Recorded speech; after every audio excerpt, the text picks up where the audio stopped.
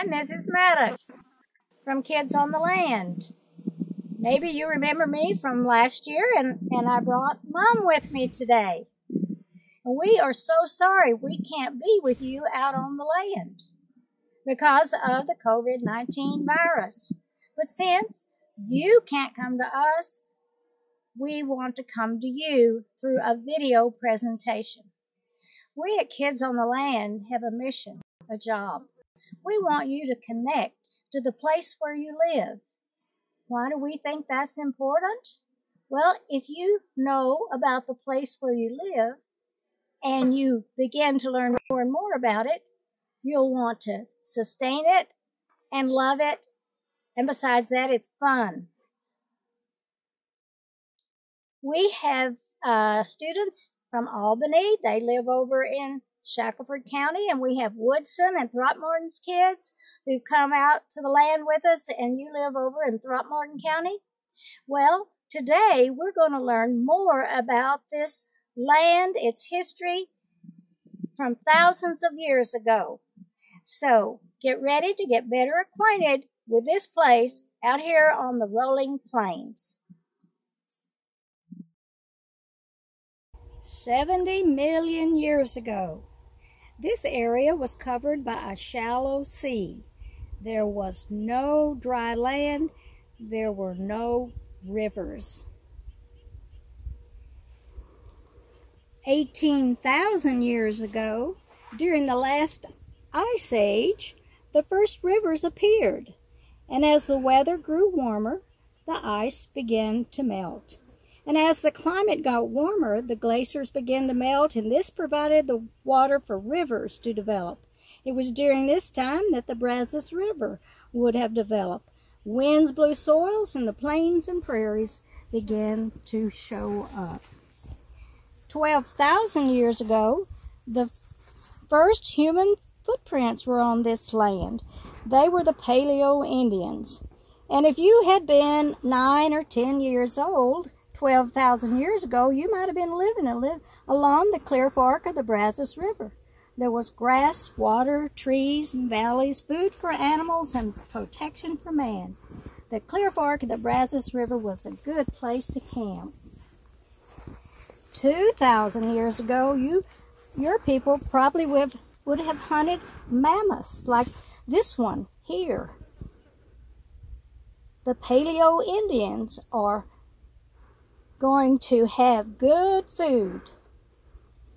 A thousand years ago, the footprints of the Native American Indians appeared on this land.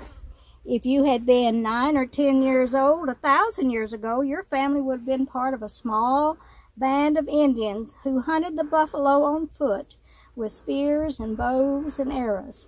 Your family would have camped along the Clear Fork of the Brazos, the river again providing water, shelter, and food.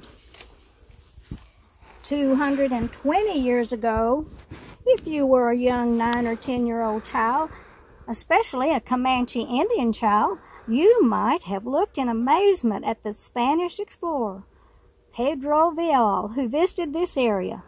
You would have been excited to see a man riding a horse, leaving hoofprints on the land you would not have ever seen a horse, and but your people would learn to ride horses and become the rulers of the plains. These Spanish explorers called the river the Brazos de los Dios, the arms of God. The Brazos River is the longest river in Texas. 170 years ago, if you were this young Comanche Indian child, you would have seen some of the first white people who left their footprints on the land. Captain Randolph Marcy stopped at Paint Crossing after taking gold hunters to Santa Fe. Paint Crossing is on this land, this ranch, here, on the rolling plains. Then, five years later, the footprints of settlers were getting onto the Indian lands and there was trouble between the white settlers and the Indians.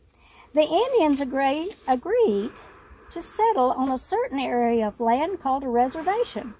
And if you were a young Indian child 155 years ago, you and your family would have been living on a Texas Indian reservation located on this ranch land near the Clear Fork of the Brazos River. The Texas legislature authorized the establishment of two Indian reservations.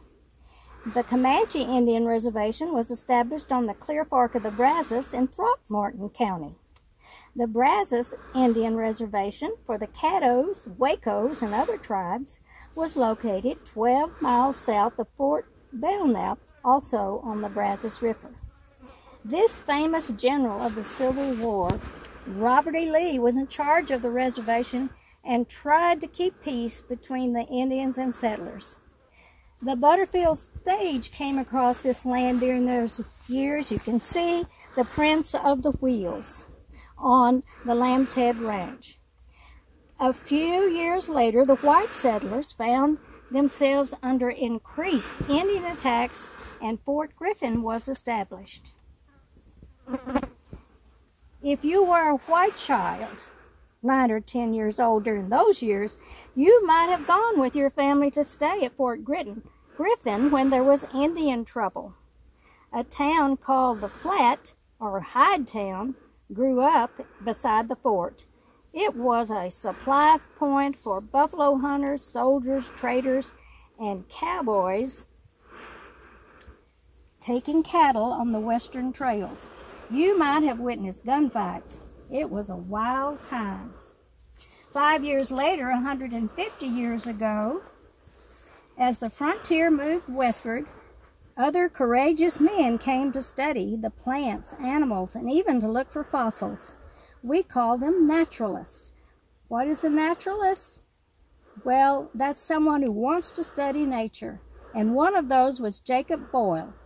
He was a Swedish naturalist and an entomologist who became famous for his explorations here in northwest Texas. Then settlers began to arrive. In the early days, no one dared settle the vast lands that stretched northwest of the Clear Fork of the Brazos River. Then settlers began to push back the frontier, and some of those settlers were the Matthews and Reynolds families. Their descendants still own the Lambshead Ranch. And that's a picture of the early headquarters. But 130 years ago, there were many changes to this land. The Indians were gone, the buffalo are gone, the Civil War is over, and the footprints of the cowboy and the hoofprints of the large cattle herds are on this land. The grasslands of the plains are just the place cowboys want to be with their cattle.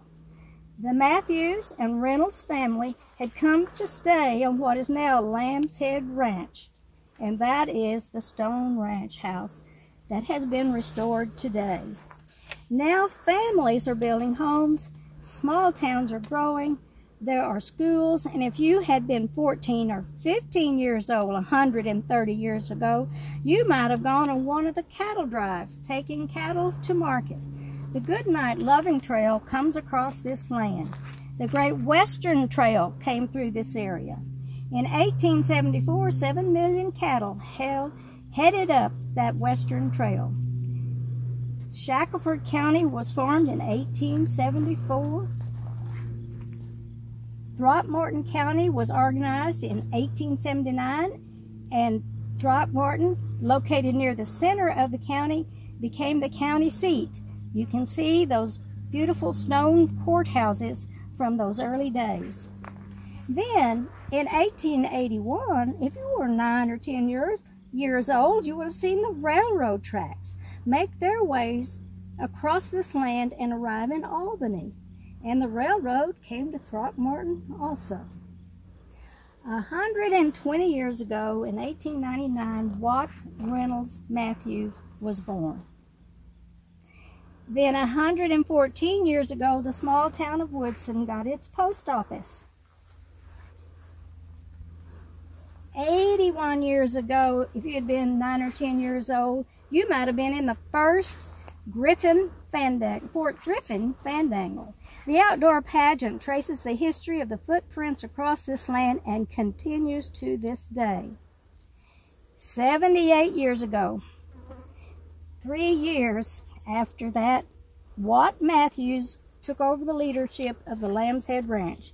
And if you've been eight or nine, ten years old, 78 years ago, your father might have been one of the cowboys who worked on the Lambshead Ranch.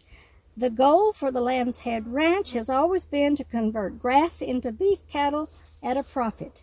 Watt Matthews raised Hereford cattle. He was a steward of the land and the wildlife. In the first years after he came as the caretaker of the Lambshead, he worked with A.S. Jackson to preserve the Rio Grande turkey. Watt Matthews believed that you should know the place you came from, so he began restoring and rebuilding the many places where the footprints of the Matthews and Reynolds families had been. History is still very much alive on the Lambshead, owned to, to this day by the descendants of the original families.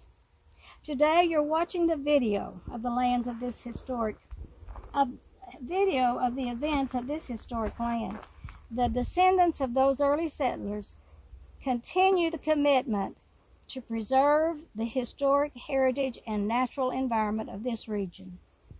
Now that you know more about the place where you live, we hope you will love it and want to take care of it. And we certainly hope to see you out on the land at a Kids on the Land event when this pandemic is over. So thank you and stay safe and healthy.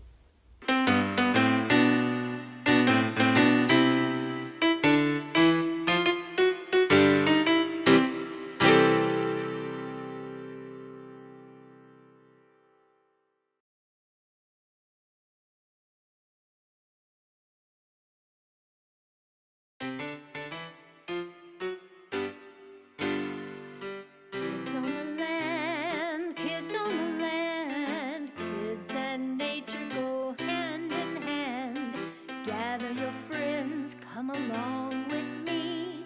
Get to know your nature neighbors naturally. There's animals and insects and plants galore. There's fossils and history of what's happened before. This world is a spinning and it's only beginning. Will there always be